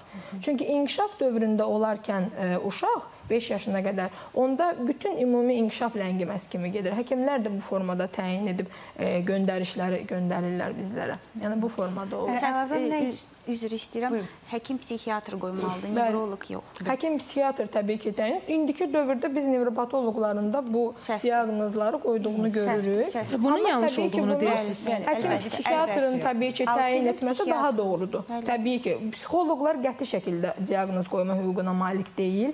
Qətiyyən heç biz demirik. Biz testlərdən keçirib əlamət olaraq şübhə görüb mütləq şəkildə həkimə yönləndirməliyik. Bir psixoloqun, laqabedin ya da bu ə, psixopedaqoqun bu diaqnoz uşaqda var, mən deyirəm deməsə qətiyyən qanuna uyğun deyil. Həkim psixiatr qaydaya uyğun olaraq diaqnoz qoyur. Təbii ki, e, əlamət olaraq görülür, şübhəli, e, narahatçılıq şübhəli olaraq həkim tərəfindən müşahidə olunur, reabilitasiya cəlb olunur. Çünki elə uşaqlar var ki, 3 yaşında heç bir pedaqoji e, baxıma e, baxım görməyiblər deyə o uşaqlar pedaqoji öyrədilməyiblər deyə kənardan spektr pozuntu əlaməti olaraq görünür. Həkim tərəfindən reabilitasiya cəlb olunduqdan sonra Uşaq reabilitasiya aldıqda artıq görürük ki, uşaqda müəyyən reaksiyalar, inkişaf başlayır. O zaman yenidən həkimə getdikdə həkim özünün diaqnostikasına əlavələr edə bilir. Əlavələriniz var idi, buyurun. Niyə mən 5 yaşında həyəcan təbili çaldım? Çünki təəssüflər olsun ki, ölkədə valideynlər, xüsusən də atalar belə deyək, və yaxud da ki, ailənin ata qohumları bunu ifadə edirlər ki, uşaq gəlir 3 yaşa, 4 yaşa, 5 yaşa və deyirlər ki, atası da gec danışıb, dayısı da gec danışıb, əmisi də gec danışıb və diaqnoz çox gecikdirilir. Və təəssüflər olsun ki, baxın, erkən müdaxilə hər bir problemdə belə deyək, həyat qurtarır. Gec müdaxilə isə uşağın ömür boyu autizmin olmasına səbəb ola bilir. Və 2013-cü ildə DSM-5 kitabında sonradan dəyişilibsə xəbərim yoxdur, amma 2013-cü ildə DSM-5 təslim, təslim xəstəliklər təsniflandırma kitabında e, autizm diaqnozu 3 yaşda, erkən müdaxilə isə 0-2 yaşda qeyd olunur ki, Amerikada 6 aylıq bir uşağa autizm riski daşıyır deyən həkimlər var. Baxın, düşünün bir həkim deyir ki, hələ bu uşağa mən diaqnoz qoya bilmirəm, 5 yaşına gələcək dəqiq qoymalıyam. Bir var, bir başqa həkim deyir ki, 9 aylıq bir uşaq da risk daşıyır. Həyəcan E, təbili təbii ki, çalır. e, Üzr istəyirəm. Həkim üzr istəyirəm. Həkim həyəcan təbili çalır və deyir ki, bu uşağa müdaxilə olunmalıdır. Qeyd etmək istədiyim şey buydu ki, e, o Yox, mən- izləyən çünki valideynlər var Yox, və mən təbii ki, burada mənim sözümü bitirmədən müdaxilə etdiyiniz üçün mən sözümü təbii ki, mən e, orada davamlamaq istəyirdim ki, artıq biz də illərdir uşaqlarlanıq, e, bütün günü diaqnostikalar, testlər keçiririk. Təbii ki, 5 yaşa qədər biz arxayın oturub gözləməli deyilik. Sadəcə yenə qeyd elədim 2013-dən sonra DSM-5 artıq təyin olunub. Mən e, dövlətin diaqnostik Neçənci ildə yenilənir? 2013-dən sonra? Müəyyən sonra ilini dəqiq deməyəcəm, amma DSM-5-də hal-hazırda autizm podia spektr pozuntusu 5 yaşdan qanuni olaraq götürülür. Və yenə qeyd edim ki, Əgər biz inkişaf, neyroinkişaf pozuntusunu hal-hazırda müşahidə ediriksə, onsuz da uşaqlara erkən müdaxilə lazımdır, vacibdir. Biz bunu danmırıq. Onsuz da valideynlər arxayinlik olmamalıdır. İstər autizm e, spektr pozuntusu olsun, istər digər narahatçılıqlar olsun, mütləq şəkildə müdaxilə uşaqlara olunmalıdır. Sadəcə bu birinci ailədən başlanmalıdır. Biz indi e, arxayın oturaq, e, dövləti gözləyək, gözləyək ki, orada yer boşalsın. Xanım bayaq qeyd elədi, e, növbədə durmaq. Yəni bunun üçün diaqnoz gözləmək, təbii ki, bunlar vaxt olan şeylərdir və bunlar uşağın vaxtından uğurluyur. Və uşağın birinci e, koqnitiv bacarıqları olsun, təfəkkür bacarıqları olsun, istər pedaqoji bacarıqları olsun, bunlar hamısı psixoloq tərəfindən seanslar müddətində uşağın e, yuxu saatında olmamalı, ac vaxtında olmamalı, kaprizli dönəmində olmamalı, ağlayaraq olmamalı, sakit bir dönəmdə valideynlə birlikdə. Təbii ki, burada həkimin dəyərləndirməsi ilə psixoloqun dəyərləndirməsi fərqli şəkildə həkim Bəli, bu barədə artıq danışdıq ki, Hə, burada onu qeyd müddət də fərqli olur, aydındır. Biz müddəti də amma biz psixoloqlar olaraq hansı ki dəyərləndirmə keçiririk, uşaqları testdən keçiririk. 2 aydan bir o testlər hər zaman təkrarlanır. 8 seansdan bir yenidən baxılır ki, necə gedir gedişat, artıq uşaq müəyyən şəkildə reabilitasiyaya cəlb olunurmu, reabilitasiya nə dərəcədə uşaqda ümumi ə, inkişaf yarada bilir, yoxsa uşaqda ger, ger vəziyyət eynidir. Ondan sonra təbii ki, ailə məlumatlandırır. Burada həkimlər də qeyd edir, qidalanmadan tutmuş. Günlük yaşam rejimi, uşağın qidalanması, ə, sosiallaşması, valideynin onları düzgün şəkildə yönləndirməsi, oyuna cəlb etməsi, uşaqla oyunlar oynaması, bunlar vacibdir. Yəni diaqnostik dəyərləndirmənin olması vacibdir və biz ə, gözləyə bilmərik ki, ə, uşaq hansısa müəssisədə yer boşalsın və uşaq ora daxil olsun və bu gün ə, istər autizm spektr pozuntusu olsun, istər də digər inkişaf pozuntuları olsun, inkişaf pozuntusundan çalışmaq üçün mütəxəssis olmaq lazımdır. Günü-gündən yenilənmək lazımdır. Yəni bu sahədə o qədər təcrübəli olmalıyıq, səbirli olmalıyıq. Özümüz də psixoloq, pedaqoqlar olaraq daimi superviziyalardan keçməliyik. Çünki Bu kimi neyroinkişaf pozuntulu və ağır ə, diaqnozlarla çalışan mütəxəssislərdə mütləqdir ki, bir növ ə, yorulma, ə, müəyyən hallar yaşanır və mütəxəssislər əgər mütəxəssis kimi fəaliyyət göstərirsə, mütləq şəkildə hər zaman yenilənməli, uşaqla düzgün yanaşmanı bilməli və düzgün reabilitasiyanı aparmalı. Burada idman müəllim bayaq qeyd elədi, idman çox gözəl rol oynar çünki uşaq inkişaf dövründə oyun dönəmi aktivdir deyə hərəkətli olan, onlarla hərəkətli şəkildə keçirilən təlim metodları daha müsbət rol oynayır. Nəinki Gəlin biz həmin şəxslərin təhsil hüququ necə qorunur, onlar necə təhsil alır, bu barədə də danışaq. Təhsil Nazirliyinin Sağlamlıq İmkanları Məhdud Uşaqlar üçün Reabilitasiya Mərkəzinin direktoru Nurlanə xanım İbadullayevaya üst tutacaq. Nurlanə xanım, autizm spektr pozuntusu olan uşaqların təhsil hüququ necə qorunur? Ölkəmizdə onlar üçün hansı imkanlar var, qaydalar, qanunlar və şərtlər? Buyurun. Çox sağ olun. İlk öncə onu qeyd edeyim ki, bizim reabilitasiya mərkəzi də artıq ə, Təhsil Nazirliyinin tabeliyində artıq 2011-ci ildən fəaliyyət göstərir və bizdə də uşaqların qəbulu zamanı mən ümumi danışacağam. 3 yaşından uşaqları qəbul edirik, qiymətləndirmə keçiririk. Onlar üçün hər biri üçün ayrı-ayrılıqda fərdi inkişaf planı hazırlanır. Çünki hər birinə fərdi şəkildə yanaşılma lazımdır mütləq şəkildə və onlara xüsusi ə, xidmətlər göstərir. Loqopedik xidmətlər, psixoloji xidmətlər və inkişaf terapevtləri tərəfindən qruplarda da onlar yerləşdirilir və onlara xidmət göstərilir. Və ə, bayaqki fikirlərlə o qədər də razı olmadım hansı ki, o müddət məsələsini götürsək, ə, burada müddət ə, yəni xüsusi müddətlər olmalı deyil. Bu mütəmadi getməlidir inkişaf. Ə, qısa bir xatırlatma eləyim. Pandemiya dövründə bizim müəssisə ə, fəaliyyətini dayandırmışdı. O yəni bütün dövlət müəssisələri kimi. Ə, o dövrdə bizə dəfələrlə valideynlər tərəfindən zənglər gəlirdi ki, uşaqlarda inkişaf ləngimələri daha da artıb geriləmələr müşahidə olunur və mən heç cür onları qəbul edirəm. Zəncir qopmuşdu. Bəli, zəncir əməlli başlı qopmuşdu və biz onları qəbul edə bilmirdik. Artıq biz fəaliyyətə başlayandan sonra pandemiya bitən, yəni yüngülləşən zaman biz fəaliyyətə başladıq. Uşaqları sonradan hansı ki o uşaqlar neçə ildir bizdə gəlib xidmət alırlar. O uşaqları biz qəbul edərkən həqiqətən özümüz gördük ki, uşaqlarda nə qədər geriləmə var. Bu hansı hallardadır? Məsəl üçün aqressiv davranışlarda, sosial bacarıqlarda, hətta ə, necə deyim, bəzi o ə, gündəlik vərdişlərdə mə deyim, qidalanmada mı deyim. Elə bir ki, bu valideynlər aparıb uşaqları bu pandemiya dövründə hardasa 2 ilə yaxın ə, ki, biz fəaliyyət göstərə bilmədik. Uşaqları ancaq evdə saxlayıblar.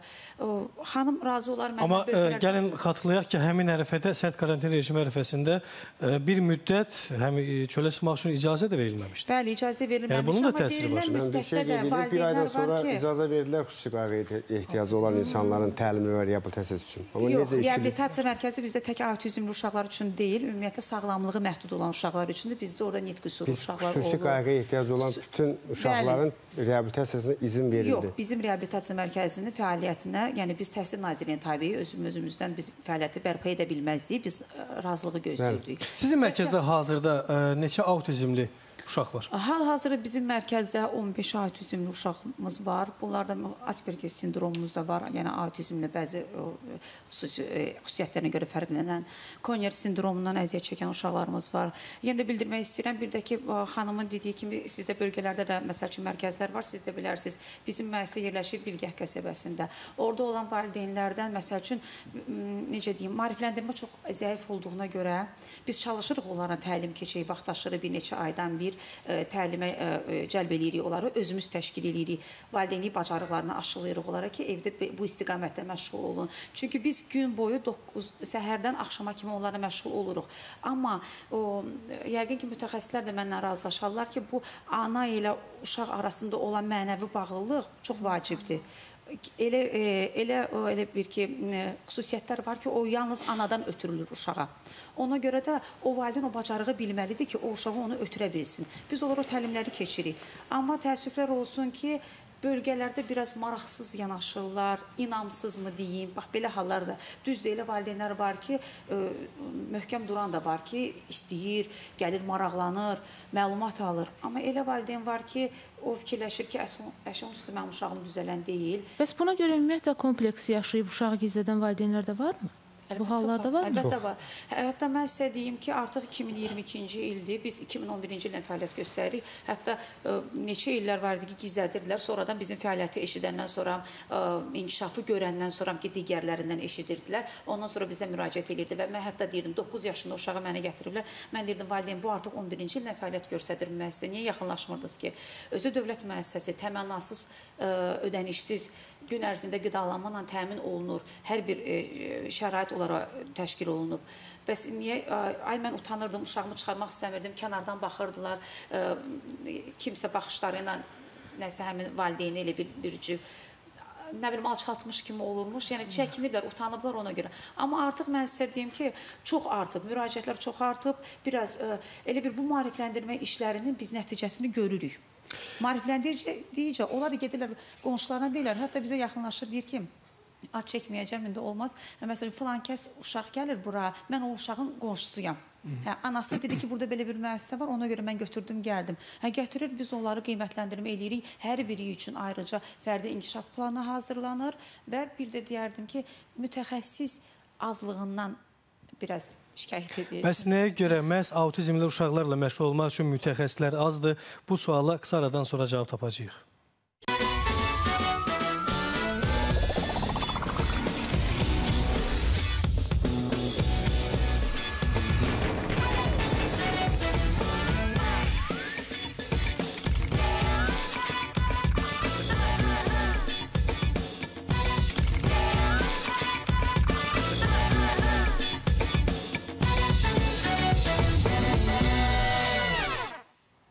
Sabah saxlamadan autizmli uşaqlara dəstək ola bilirikmi sualı ətrafında müzakirəmizi davam etdiririk. Tamaşaçı mesajları ilə davam edəcəyik. Tamaşaçımız yazır ki, mən nəvəmə əlillik ala bilmirəm. Deyirlər düşmür e, və uşağımı dövlət sağalsın deyir və daha sonra e, müraciət edir ki, oğlumun 6 yaşı var, serebral iflic diaqnozu qoyulub. Bunun köməyi varmı? Necə edib hara gətirə bilərəm yoxlanılsın? Əlilliyi müraciət etmək üçün ilk növbədə pasiyent xəstəliyi olan bir şəxs ilk növbədə tibb müəssisəsinə müraciət eləməlidir. Tibb müəssisəsində onun tam olaraq müayinələri aparılır, diaqnoz qoyulur və sonra bu müayinələrin nəticələri və bu diaqnoz vurulur elektron sistemə.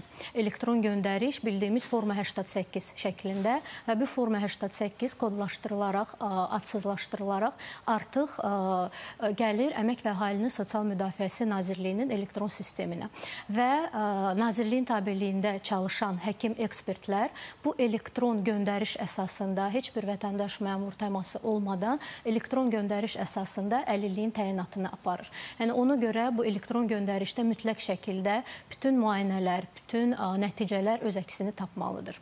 Yəni autizm sindromu ə, diaqnozu qoyuldusa, deyək ki 3 yaşında diaqnoz qoyuldusa, sənədləri sizə göndərə bilirlər. Elektron şəkildə sənədlər göndərilməlidir forma 88. Digər tamaşaçımız yazır ki, ə, övladımız 6 yaşı var, autizm sindromu daşıyıcısıdır, danışmır, nitqi yoxdur. Biz onu hansı mərkəzə yerləşdirə bilərik? Bu suala mən e, 6 yaşı 6 var. yaşı var. Nitqi yoxdur, danışmır. İstənilən mərkəzə yerləşdirə bilərdi. Reabilitasiya mərkəzlərinə bəli müraciət edə bilər. Ə, Çünki yaş həddi qoyulmur orada. Məsəl üçün bizim mərkəzdə 3-18 yaş uşaqları qəbul edirik. Bunun üçün hər hansı bir ödəniş Xeyr, xeyr. sənədlər kifayətdir. sənədlər bəli. Hı, Siz ünvanı da bir daha xatırladın həmin tamaşaçımız üçün zəhmət Deməli olmasa. bizim müəssisəmiz Bilgəh qəsəbəsində Qocalar evinin yaxınlığında yerləşir. Sağlamlıq imkanları məhdud uşaqları üçün reabilitasiya mərkəzi. Başqa belə deyək, e, mərkəzlər varmı? Məsələn, sizin dediyiniz ola bilər ki, şəhər kənarındadır, tamaşaçımız üçün məsafə Bəli, uzaq olsun. yerləşir, amma Təhsil Nazirliyinin tabeliyində reabilitasiya mərkəzi bir bizik. Bircəsiz Bəli, siz. Təhsil Nazirliyinə tabe olan. Tamaşaçımız soruşur ki, ana uşağı özünə bağlamaqla, cəmiyyətdən uzaqlaşdırmaqla onu autizm xəstəsi eləyə bilərmi? Eləyə bilərmi ana öz övladını? Çox özünə az bağlamaq? məlumatdır bu. Təəssüf ki, çox bir az məlumat siz verirsiniz. Mən, mən sizə indi buna cavab verə bilmərəm. Yəni ana övladını yanında saxlamaqla autizmli e, şəxsi Yəni çevirə ikicə dənə az məlum, məlumat verirsiniz mənə indi hal-hazırda. Yəni biz ümumiyyətlə ananı ittiham edə bilərikmi? Axı bu ananın övladı ilə davranışından yaranan ə, bir sindromdurmu? Xeyr, təbii ki. Tamaşaçımız Aydınlıq məhz bunu gətirək lütfən. Autizm doğuşdan gəlir və həyat boyu davam edən neyroinkişaf pozuntusu diaqnozun adı budur. Doğuşdan gəlirsə heç bir xarici e, təsir o uşağı autizmli eləyə bilməz. Əgər bir uşaq autizmlidirsə, o uşaq zaten ana bətnindən artıq autizmlidir. Yəni sonra televizora çox baxdı, nə bilim ana az məşğul oldu, ana uşaqla danışmadı, bu uşaq Bu autizmli xarakterinə oldu. təsir eləyə bilər. Ancaq Təbii ki, təbii ki. Bir də nə var? Üzr istəyirəm. E, Türklər buna duyu problemi deyirlər nə? Çoxlu e, televizora, nə bilim telefona baxmaqla uşaqlar bəli, autizmin bir neçə əlamətini göstərə bilər, amma autizmli olmaz. Digər tamaşaçımız isə yazır ki, e, həmin hallar varsa, tamaşaçılarımız indi baxır. O haldısa dərhal autizm deyil, dayanmaq doğru deyil də. E, onun geri dönüşləri varmı? Yəni o yoldan qayıda bilirmi? Bəli, Deyək ki, bəli, bir bəli. asıllıq nəticəsində əlamətləri var. Bəli. E, bayaq adını tam deyə bilmədim üzrlü sayın. Uyaran eksikliyi deyirlər belə deyək türk həkimləri ona. Nədir bu? Stimul eksikliyi. Bir uşaq uşaqlıqdan körpə yaşından 5 aylıq, 10 aylıq, 12 aylıq televizor, televizora, telefona məruz qalırsa, bu uşaqda uyaran eksikliyi olur. Yəni nə stimul eksikliyi olur. Bu uşaq insan səsinə, insan üzünə, insan mimikasına reaksiya verməkdənsə elektronik əşyalara reaksiya verə bilir. Bu dediyim kimi autizm deyil. Diqqətini yönəltmir digər Bəli, bəli. heç bir Və hadisə. bu uşaqlardan həmin elektron vasitələr uzaqlaşdırdığımızda geri dönüşü ola bilir. Amma autizmdə isə nədir? Doğuşdan gəlir və neyroinkişaf pozuntusudur. Heç bir xarici faktor ona təsir eləmir. Əlavə etmək istəyirəm ki, autizmli uşaqlar da belə, yəni telefona, planşetə bu qədər maraq Bəli. göstərəndə, valideynin nəzarətindən kənarda qalanda onlarda ağırlaşma da gedə bilir. Tamamilə onlar sosiallaşa bilmirlər, ə, heç bir ə, ə, ünsiyyətə ünsiyyət qura bilmirlər və bu da onların inkişafını daha da ləngidir. Onların mütləq sosiallaşması lazımdır, reabilitasiya proseslərini keçməsi lazımdır ki, onlarda hər hansı bir inkişaf keçsin və telefon, planşet tamamilə yığışdırılmalıdır. Tamaşaçımız yazır ki, 0-1 yaş aralığında hansı davranışlar və ya davranış pozuntuları autizmin əlamətləri sayıla bilər? Reaksiyaların olmaması, məsəl üçün qəfil səslərə uşaq reaksiya göstərmir. Sevinclə gəlirsən qucağına almağa, oynatmaq istəyirsən, uşaq qollarını uzadaraq qucağa gəlmək istəmir. Fikri yayınır, o tərəf bu tərəflərə baxmağa başlayır. Yəni onu yenə də deyirəm, əlamət kimi görə bilərik, amma autizm kimi dəyərləndirə bilmərik. Yəni spektr pozuntu olaraq dəyərləndirə bilmərik. Sadəcə hardasa inkişaf pozuntusu kimi dəyərləndirilməlidir, amma orada ilkin e, müdaxiləni valideynlər etməlidir. Yəni uşaq 1 yaşından aparım tez e, təlim müəssisəsinə, orada nəsə olunsun, yox. Evdə uşaq sosiallaşdırmağı bacarmaq lazımdır. Yəni hər bir prosesdə düzdür, mütəxəssislər bu işi görə bilir, amma ailələr də burada aktiv olmalıdır. Yəni uşağı e, evdə böyüyür, e, evdən başlayır uşağın inkişafı və valideynlər uşaqlarını izlədiklərində, bütün günü ə, onunla oyun oynamadıqlarında, çünki uşaq 5 yaşına qədər fəaliyyət oyun fəaliyyətidir. 1 yaşında uşaqla oynanacaq oyunlar var. Onlar hansı ki toxunsal, duyusal, hansı ki o xanım qeyd elədi, uyaranlar, yəni ətrafdan e, təsir edici səslər, səslərə olan reaksiyalar, gülmək, ananı tanıma, atanı tanıma, qapı qəfil açılanda dönüb baxma, bu kimi şeylərə valideynlər diqqət eləməlidirlər. Valideynlər deyərkən mən. İstəyirəm studiyamızdakı valideynə üst tutaq. Elnur müəllim, sırf valideyn olaraq fikirlərinizi öyrənmək istəyirik. Autizmli ə, övlada bir ay ərzində ortalama nə qədər vəsait lazımdır valideynə? Bu xərclər nə qədərdir və e, biraz öncə əlillik e, alınması barədə danışdıq. Bu məbləğ nə qədərdir? Nə qədər qarşılaya bilir? Biraz öncə də dedik, valideynin biri mütləq işindən ayrılıb uşaqla məşğul olmalıdır. Buyurun. E, mən e, bu bir neçə gün öncə öyrənmişəm ki, bizim uşaq e, 280 manat məbləğində məvacib alır. Əslində e, bilirdim, amma nə qədər almağımı bilmirdim. 280 manat. 280 manat. Yəni bu da əvvəl 1-2 ilin içində bu rəqəmlər dəyişdi. Əvvəl lap 80 manatdan başlamışdı. E, bilirsiniz, Bəs edirdimi?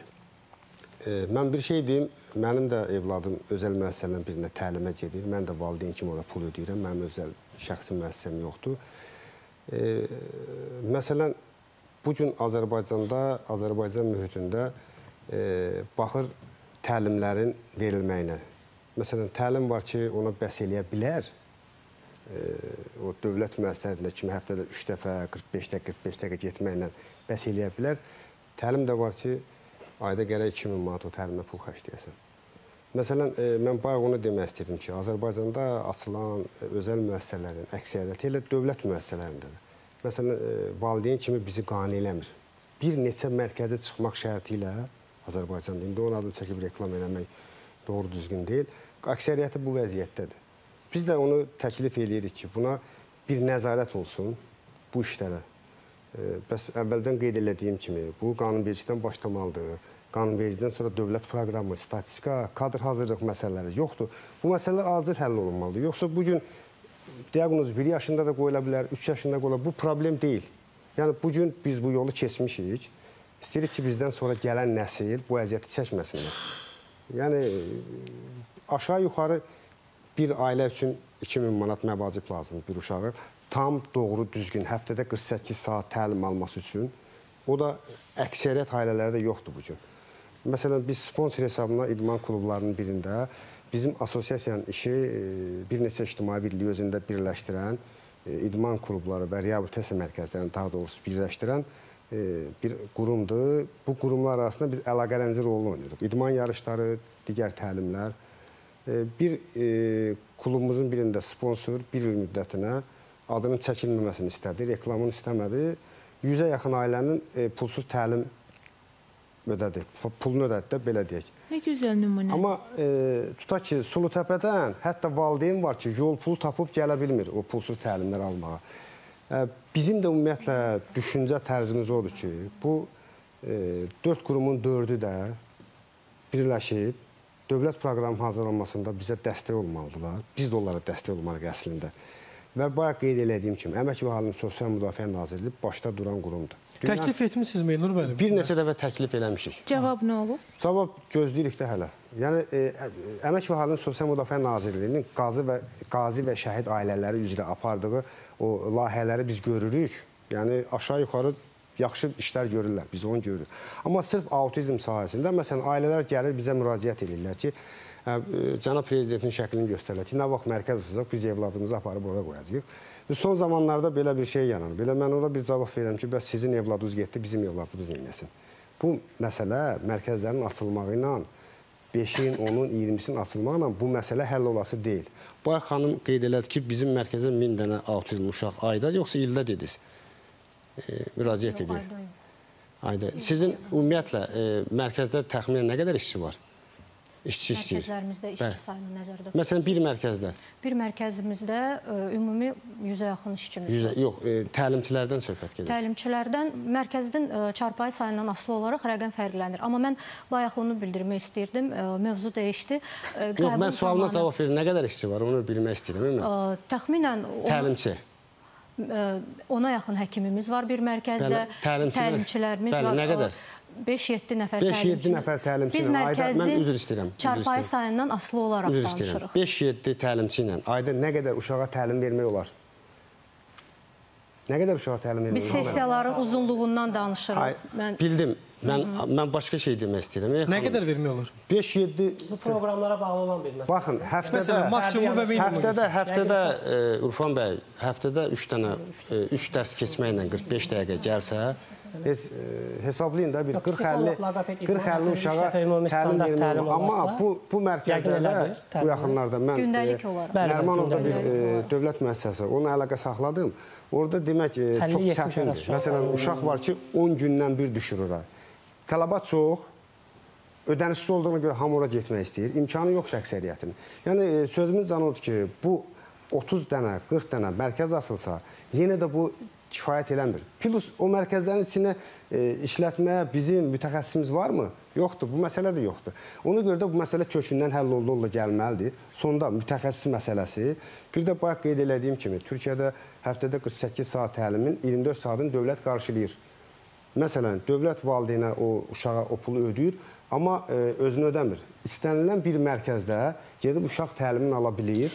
İcbari tibbi sığorta ilə qarşılamaq necə? Bu mümkün olarmı bunu təklif etsə? Çox çətin bir məsələdir. Onu bayaq əvvəl qeyd elədiyim kimi, icbari tibbi sığorta ildə bir dəfə insan xəstələnir, müraciət edir. Onun 150-200 manat xərci var. Amma ayda 2000 manat heç bir icbari sığorta bu uşağın öhdəliyin boynuna götürüb onu ödəməz.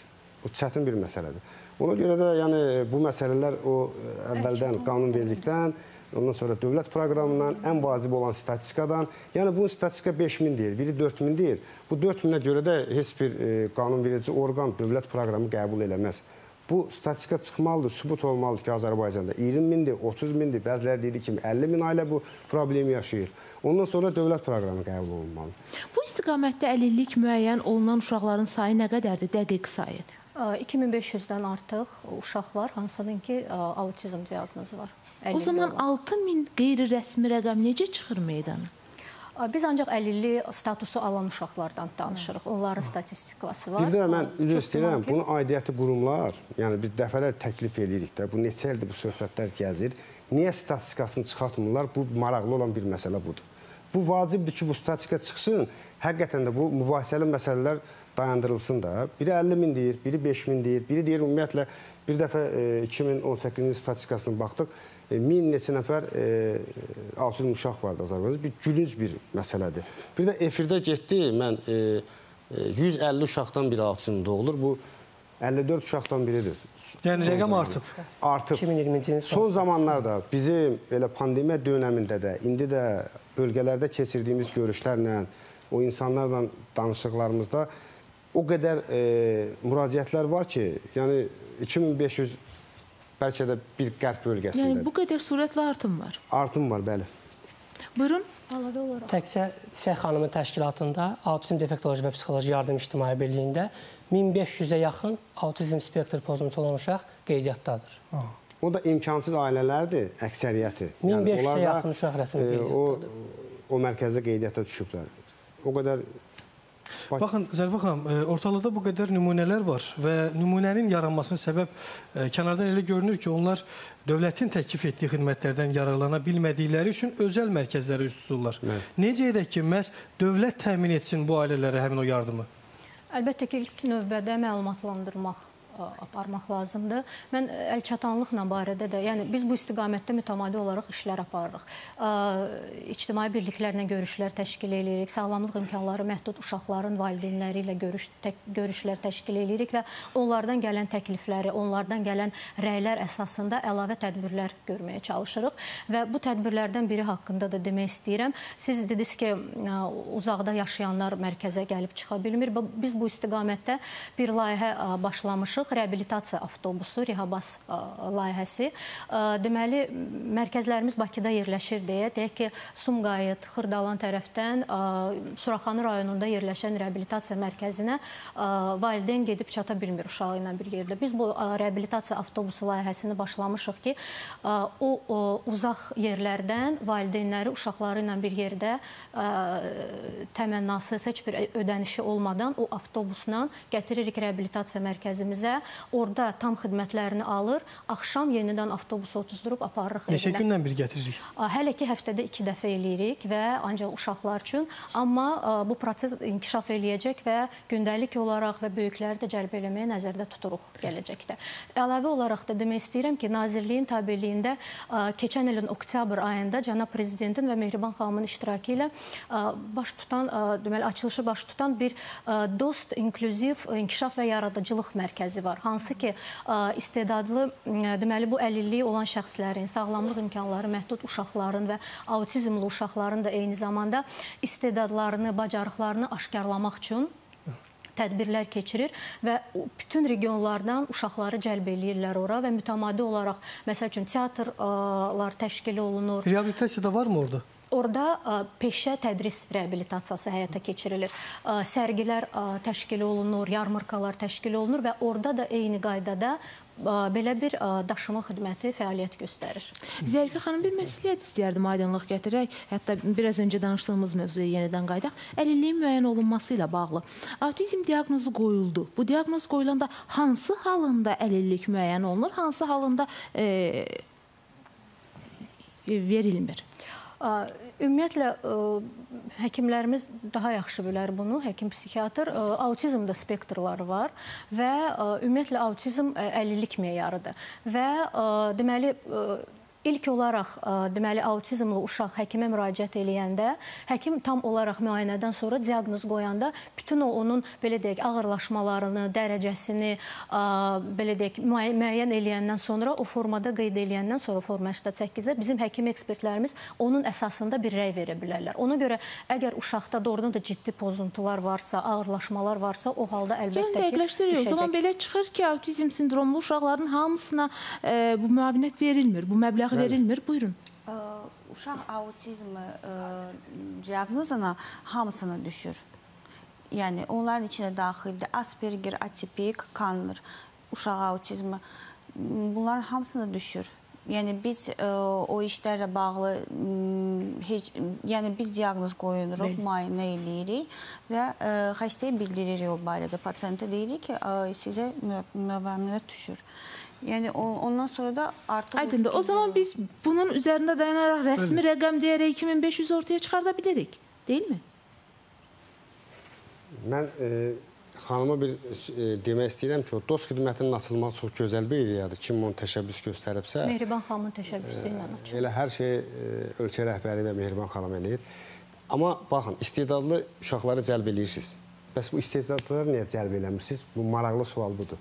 Mən Vüsalə xanım sualına cavab vermək istəyirdim. Buyurun. Ə, o 2500 diaqnozu alan uşaqlarda, amma diaqnozu almayan, evdə oturan, məsəl üçün kiçik yaşda ya da böyük yaşda fərq eləmir. Dəfələrlə, hətta yüzlərlə uşaq tanıyıram ki, mən biz psixoloq olaraq şübhələnmişik ki, bu uşaq autizmlidir, amma diaqnoz qoya bilmirik. Çünki biz həkim deyilik. Soruşmuşuq ki, həkimə getmisinizmi, dəqiq diaqnoz almısınızmı? Valideynlər deyirlər ki, xeyr, getmir. Dərhal yönləndirmək lazım deyilmi həkimə? Bəli, təbii ki, Niyə anında, getmirlər? anında Nərmin xanım, yönləndirik. Niyə üz tutmurlar məhz həmin məqamda həkimə? Bəzi baxın çox fərqlidir. Bəzi valideynlər ödənişli, e, ödənişsiz e, belə deyək, e, diaqnoz almaq üçün həkimlərə müraciət etməkdən çəkinirlər. Çünki düşünürlər ki, belə deyək də e, ödənişsizdirsə orada bir keyfiyyətsizlik e, ola bilər deyə. Ancaq diaqnozun, diaqnozun qoyulması icbari tibbi sığortaya daxildir. Bunun üçün heç bir ödəniş etmələrinə də ehtiyac yoxdur. Həm rəqəmi dəqiqləşdirməkdə bu lazım olacaq. Bəli. Bu digər tərəfi.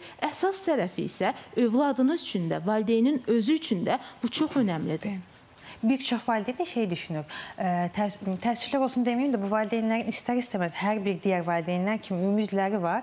Tutaq ki, deyək ki, dəfələrlə bu ə, halla qarşılaşmışıq. Uşağım gələcəkdə halbuki qızı orta ağır dərəcəli autizmlidir. Gələcəkdə tutaq ki, deyirəm evlənəcək, məktəbə gedəcək, nə bilim, ə, iş sahibi olacaq. İstəmirəm ki, onun adına belə deyək, ləkə düşsün. Adında deyə autizm ə, spektri adı altında getsin uşağım. Halbuki o uşaq özünü idarə etmə bacarığına belə orta dərəcədə sahibdir. Yəni bu düşüncədə olan təəssüflər olsun ki, valideynlərimizdə var. Bir şey deyim. Təxminən bir 100-ə yaxın Bakı şəhərində mərkəz var. Hamının məlumatı var da bu məsələdə. Bakı şəhərində. Ortalama hər mərkəzə 20 uşaq getsə, heç elə mərkəzlər var ki, daha çox 180 uşaqları var.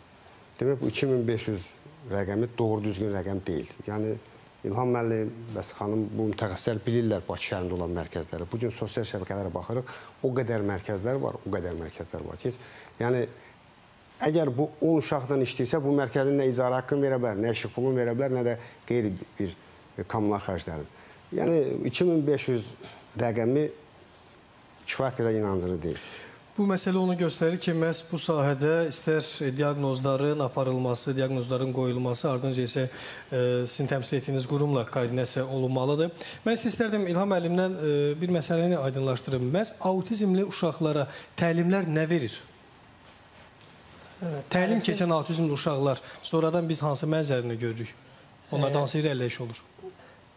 0-6 yaşında e, autizm spektr pozuntusu qoyulan hər hansı bir uşaq mütləq təlim olmalıdır. Təlim onu həyata qazandırır. Nədir bu təlimlər? Gəlin bir bu məsələ bir aydınlıq gətirək. Yəni nədən ibarətdir? Bəli, nədən ibarətdir təlimlər? Təlimlər onların təlimlər Nərmin xanımın öncə qeyd etdiyi kimi səhər onların yuxudan qalxmağından yatana qədər verilən həyat bacarıqları, idman bacarıqları, psixoloji bacarıqlar, e, nitq bacarıqları, sosial kommunikasiyalar və s. Təlimlər, yəni biz öz həyatımızı necə yaşayırıqsa, onlara da onu öyrətmək yəni zorundayıq. Yəni onlar da həyatlarını o şəkildə, bəli, bəli, rejimli şəkildə onu öyrənməlidirlər. Çünki biz görürük ki, bəzən autizmli uşaqlar e, stolsu tenis oynayırlar, velosiped sürürlər. Yəni bu növlərin də bir fərqi varmı? Hansı idman növü ilə məşğul olmalıdır, hansı ilə yox? Hər bir uşağın özünə məxsus bacarıqları var. Kimisinin musiqiyə, kimisinin idmana, kimisinin velosipedə, tenisə, üzgüçülüyə, ə, xüsusən Elnur müəllimin oğlu gözəl rolik sürmək bacarıqları var. Hı -hı. Hətta biz düşünürük ki, onu fiqurlu konki sürmə üzrə bir idman növünə yönəldək. Kimisinin atletikaya çox marağı var, kimisinin rəssamlığa marağı var. Bilgi və Sağlam İctimai Birliyində yəqin bilirsiniz bu uşaqlar var, musiqiyə olan marağı olan uşaqlar var. Hətta bir uşaq, Bəli, bəli, hətta bəli. bir uşağımız var ki, İncəsənət Universitetinin 3-cü kurs Bəli, tələbəsidir. əli autizm sahibatını spektri. çəkmək mümkündürsə, bizim uşaqlar əsasən idmanla reabilitasiya edir və Əlbəttə mümkündür. Adlarını çəkə bilərsiniz. Bu Bəli. ancaq müsbət hallardır. Tamaşaçımız yazır ki, autizm uşa ə, autizmli uşaqların mərkəzinin telefon nömrəsini zəhmət olmasa mənə deyin. Bu biraz öncə yazan tamaşaçımızdır. Rica eləyirik ə, həmin bəli. 455 71 90. 455 71 90. Oldu, təşəkkür edirik.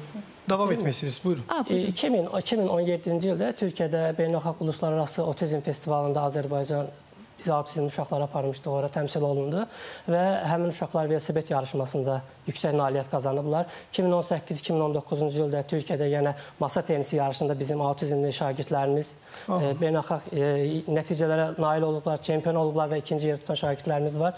Və bundan öncə də e, ölkəmizdə e, Velosiped İdman Federasiyası ilə birlikdə, Atletika Federasiyası ilə birlikdə assosiasiyanın təşkil etdiyi müxtəlif autizm turnirləri var ki, bu turnirlərə ailələrin və təlimçilərin hədsiz çox marağı var. Burada gördüyünüz indi sizin mərkəzləriniz, mərkəzlərin hər biri maraqla qatılırlar e, və e, 2014-cü, 2015-ci illərdə biz e, Masa Tenis Federasiyasına gedərkən bildiririk ki, uşaqlar biz tenis öyrətməyi istəyirik onlara. Onlar heç məşqçilər belə inanmırdı ki, bunlar necə tenis oynayacaqlar. Amma 2018-ci ildə onlar artıq tenis yarışının təşkilatçısı oldular və inandılar ki, bu uşaqlar artıq bu bacarıqlara nail olacaqlar və uşaqlar həmin ildə beynəlxalq yarışlarda iştirak etdilər, ölkəmizi təmsil etdilər. Çünki autizm spektr pozuntusu zəka yetərsizliyi deyil də neyroinkişaf pozuntusudur deyə onlara müəyyən bacarıqlar qazandırmaq mümkündür. Məsələn, zəka yetərsizliyi yaşayan uşaqlara daha ağırdır digər səbəblərdən e, problem yaşayan uşaqlar. Amma autizm spektr pozuntusu xüsusilə də idman bacarıqları, incəsənət bacarıqları öyrətmək